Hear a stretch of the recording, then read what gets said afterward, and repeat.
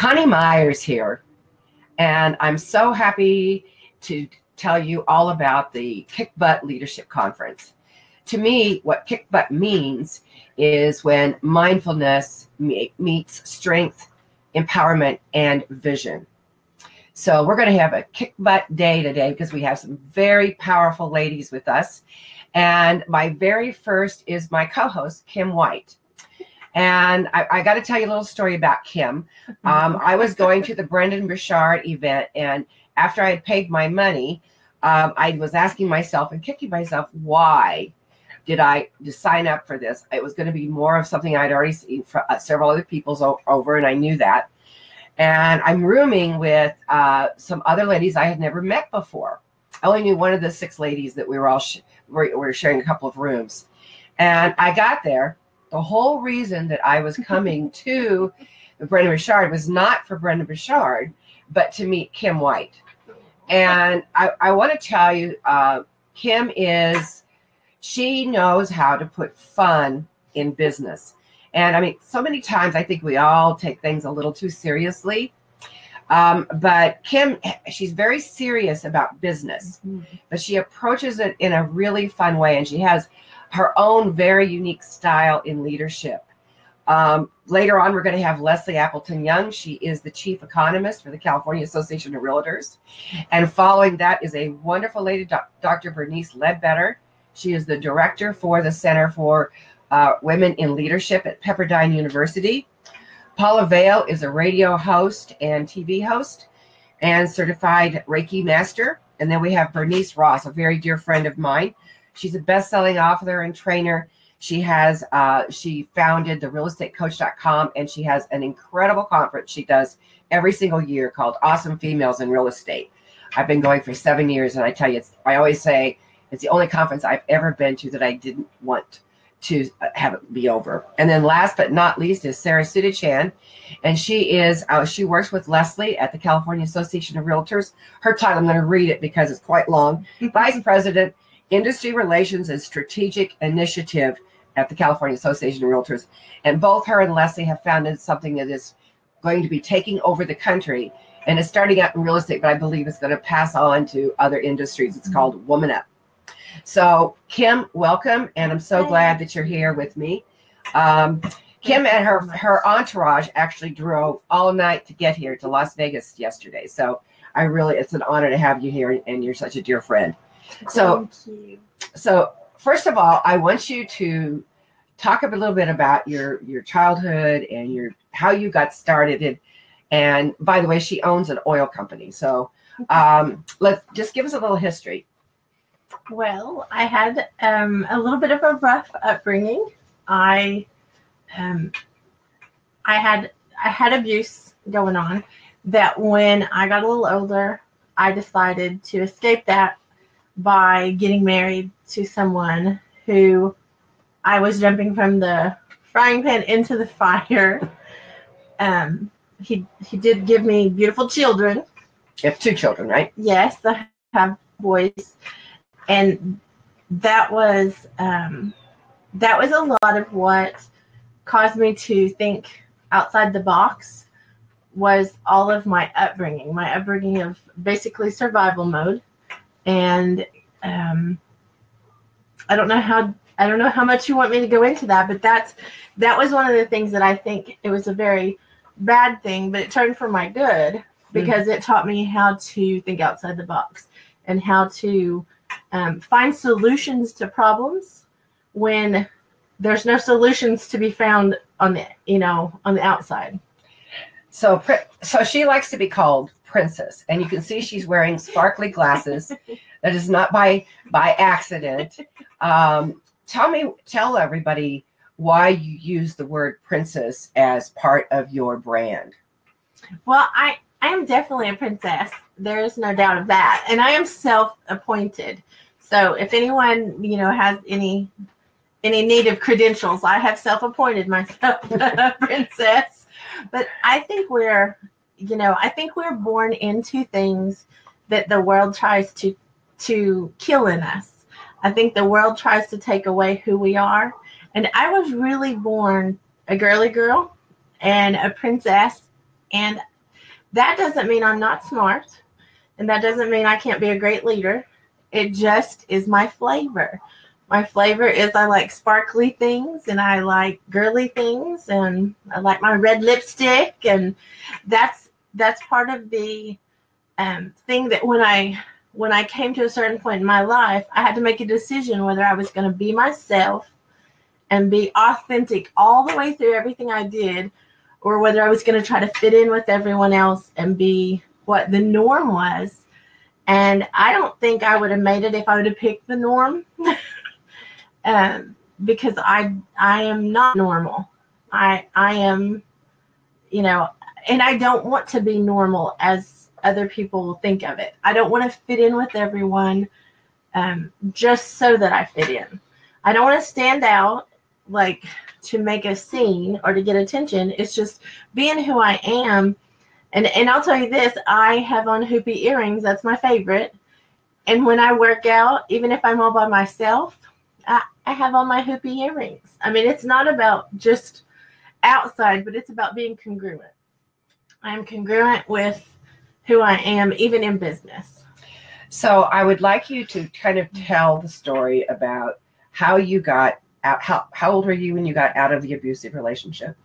Well, I got married um, as a late teenager and then was married for 13 years. You were married in this relationship for 13 years. Mm-hmm. It just proves that you can get out and be a huge success. Yes. So I would like you to tell the story about how you got out of that relationship and how you got into the oil business. Well, I got a knock on my door late one night, and I didn't. Um, I wasn't expecting anyone. We lived way out in the middle of nowhere, and it was a policeman, and he said, "You know, I know what's going on, ma'am, and I need you to tell me."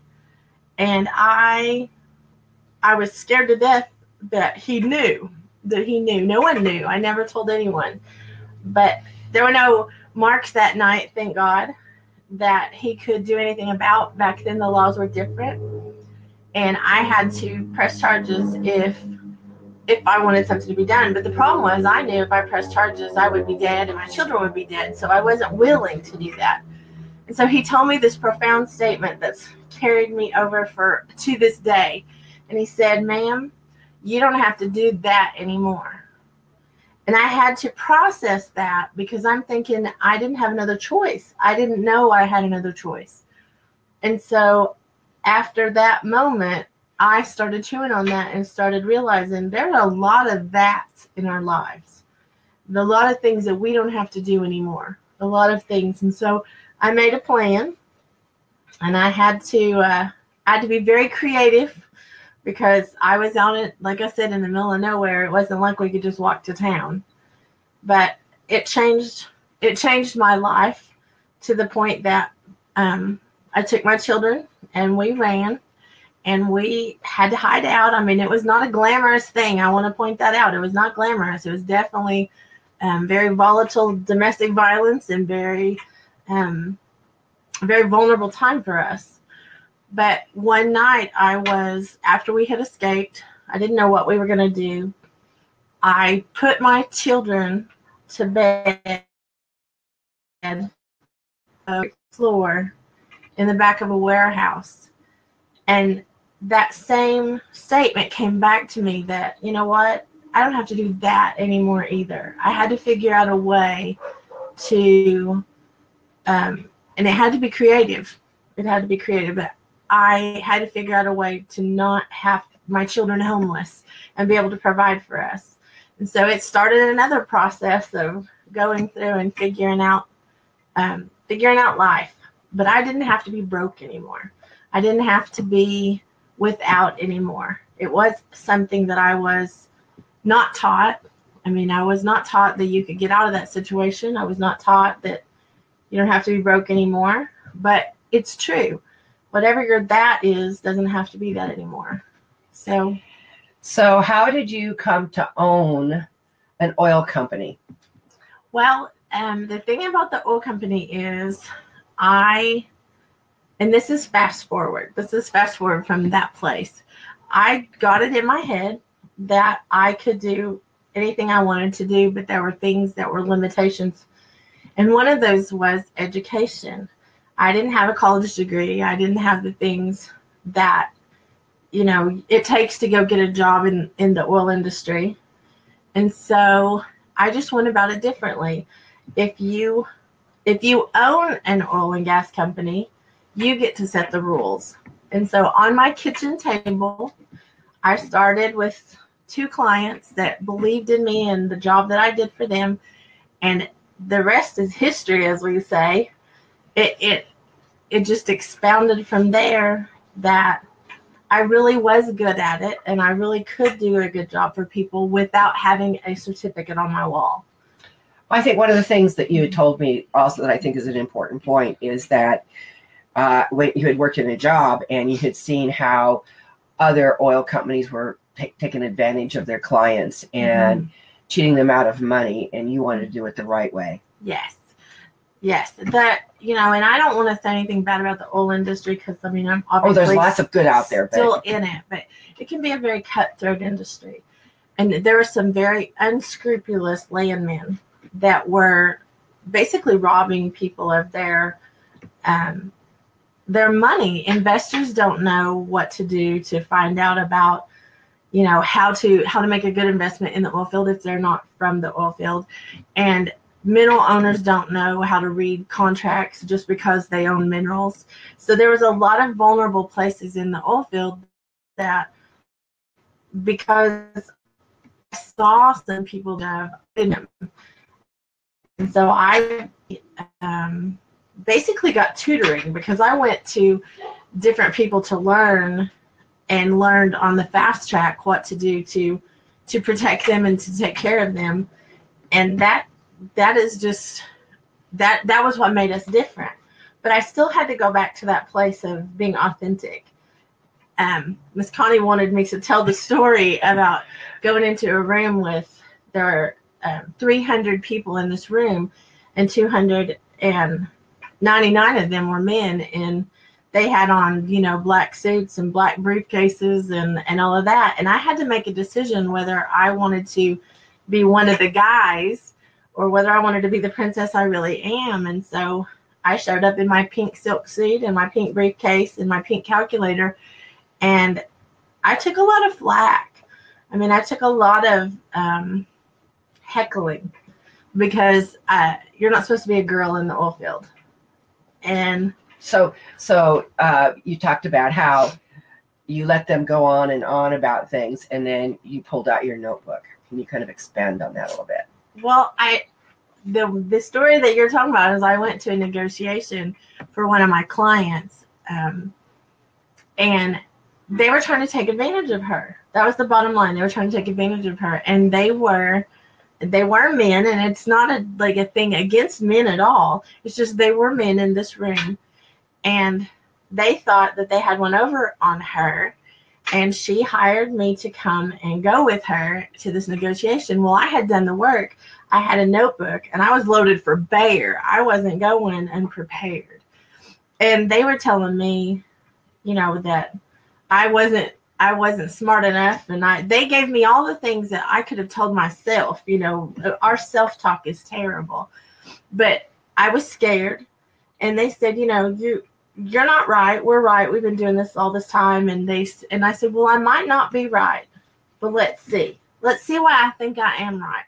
And I pulled out my notebook and they just about died because it turned out that crazy princess in the room was right about what they were trying to do to my client and and we won we we won the negotiation ended up being very blessed by that and and it could have been very ugly but I, I, I think it goes back to what you said you know your your your core statement is i don't have to do that anymore mm-hmm. and i that throws people off guard mm-hmm. so um so now you you still have the oil company and you started the My Sexy Business Team. And um, so now we have a princess that has a company called My Sexy Business. And uh, so uh, who Kim is and why I love her so much. So tell me why My Sexy Business. Well, you know, I have been I've been in some sort of business for 34 years. And all I have seen really is people bombarding you with hard selling. They just want to, you know, they don't care what happens to you. They just want you to pay them money so that they get their commission or they get their sale. And I don't like that feeling. And so I don't like that feeling for you either. And I believe that sexy, um, which is not a bad word, it's a it's one of those words that ha- was taboo because it was supposed to mean something else. But really, sexy is an attractive. You know, I wanted to attract clients and not chase them. I wanted to do such a good job that people wanted to come and me trying to find and that's what having a sexy business is all about is being a draw and not you know not having to chase down new clients all the time because you did bad business with the last ones and another part of sexy business is also setting it up with like processes and systems so that you can do what you want like i travel all the time i've been like i think we've been to 42 states this year with my sexy business. And the thing is, I couldn't do that if my business wasn't sexy. My business has to be able to sustain while I'm while I'm gone and it has to be able to keep paying and do the things that we need a business to do. We're you know, we're not in business, we're in business. So business is to make money. Right. That's the that is a business. So what kind of services? Uh, and I'll I'll get to social media stuff, you know, but tell tell them about what kind of businesses or what kind of things are inside of your team that you offer. Well, we have um, that's one of my favorites right now. We offer it's it's like an entry level price so that people can get in the club and start working towards leaving a job, start working towards building their business. To start, it's a starting spot. But we do lots of consulting we have masterminds that we run all over the world, um, which is just amazing to me. We we go to events and and we're asked to go to like conferences and, and events and do workshops and things. Um, we're on three different tours. We have different tours that take us different places that that we're there we're sexy they're their sexy part of their business. That's why she's here. so um what is your what is your uh, Facebook uh, page they can go to, or and your website that they can you can go to? By the way, she has all kinds of incredible snippets of video about how to have success out on social media, mm-hmm. um, and and how really to have success in business in general. And we give a lot of value. That's another thing I believe in with a sexy business is don't be afraid to give value. Don't be afraid to be a leader first before they send you their money. Because if you're creating value they will they will come and hire you to do things. We teach a lot of marketing. Um, a lot of businesses don't have big marketing budgets and so we teach them how to do things. Um, i know you're going to fall out but for free on social media because there is some secret sauce to that. There's some amazing things that happen. Miss Coni's a great example you know she's she's learned to do a lot of marketing things on on Facebook and it that is part of that is part of what's in the club. And in the club the easiest way to go to the club is and it's a private group like you have it's, it's a paid group but if you'll go there you can have the first month for free. Um, and it's mysexybusiness.com slash club forward slash club. Um, and then my page on Facebook is um, Kim White, and then my my business page is Kim White, my sexy business team. I can tell you that there's uh, incredible information on the and and the club is well, well, well, well worth it. So I've learned an awful lot from Kim. And Kim is going to be joining me for the next couple of days so we can add a little sexiness to uh, this uh, this conference. I want it to be a fun and interesting conference. We have the women that are joining me are just absolutely I'm so blessed to know these ladies and have them agree to be a part of this. It was just I didn't get a single no out of the deal. So thank you so much for everyone. So Kim, um, what would you say is the most important part about being a leader? And what would you say the one mindfulness practice that you do um, as a leader that helps you? I think probably one of the biggest things is to be authentic, is to be the real deal. If I if I came to you and I didn't show up sparkly, I'm actually not showing up as I'm afraid of me instead of being who. And you know, I realize I'm not everybody's flavor, but that's okay. A true leader you have to be yourself so that people that want to follow you actually get connected to you in a deeper way because you're the real deal. I think that's a huge I think that's a huge tip, a huge thing to do is to be really be yourself and don't be so afraid of what other people will say. Absolutely. Absolutely. I, th- I think that we'll probably, as we go on, we're going to have a lot of good questions. Does anybody have any questions? I can't see whether anybody's got any questions. Yeah, I was trying to see if we had any questions, and I, I have to look down to do that. So I'm not trying to be rude. I'm just trying to see.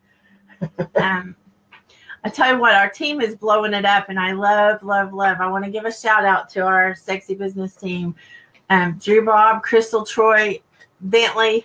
They are all in the house. they they are working. Um, to help you have a great experience. Techie Meister, and he uh, he definitely helps us with the, our with our techie issues and and a lot more. He's incredible uh, at doing the things that we need done and and helping us get to a place that we need to get. Crystal's an amazing event coordinator. She's she coordinates our tours and things. So I just want to like say that too that that we have I'm a spoiled princess. That's what I should say, because I have. Um, you have a great team. I have a great team. We should probably mention we're going to be doing the book to business tour. If anybody's interested, it's in Las Vegas, and they want to come to.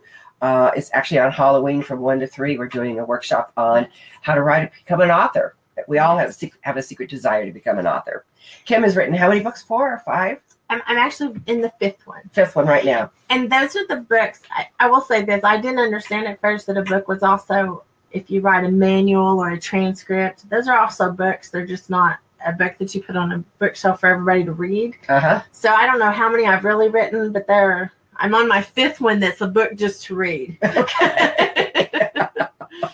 and the the fifth book is called it's called Harriet, and it's how I learned I didn't have to do that anymore and it is my story, but it also goes into a lot of other that's that I learned to overcome and and be able to do what I do.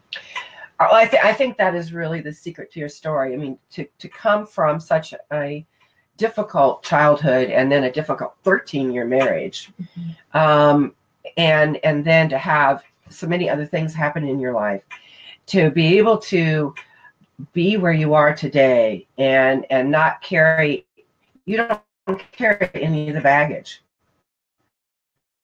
The the try not to. the baggage is i mean the, who you were then so many people can take that and they wear it for the rest of their lives. Mm-hmm. and instead what you've done is turn it around and turn it into something authentic and fun and uh, and and you're helping a lot of people so i think that's that's a really important part of. And that's sexy. And that's very sexy. and that's very sexy. So um, I think we're just about. We, anything you want to add before we take a break? Um, just how honored I am to be with you. I think you're an incredible leader, and anyone who wants to learn about true leadership, um, you are definitely a leader to be teaching leaders. You're you're an amazing, um, authentic, leader who understands things and don't underestimate her. I will tell you that. Don't underestimate her little white hair because she has absolutely done incredible things. Rocking personally. Thank and you. So I just appreciate being here. Thank you. Alrighty. Well, we're going to take a quick and next coming up is Leslie Appleton Young. I like to meet her. She's talk about authentic. She is one of the most authentic ladies that I know, and just a really, really super loved by the real estate industry around the country. Uh, she's very well known. She won two awards this year. She was the 2017 Inman's Real Estate Influencer. Inman's is a, a real estate publication, and then also another uh, real estate publication, Housewires, voted her 2017 Woman. So we cannot wait to have her on and Mhm. talk coming on. She's not able to get on video, so we'll have a picture of her, but you'll be able to hear her. So we'll be back at 10 o'clock. Looking so forward to it. Bye. Bye bye.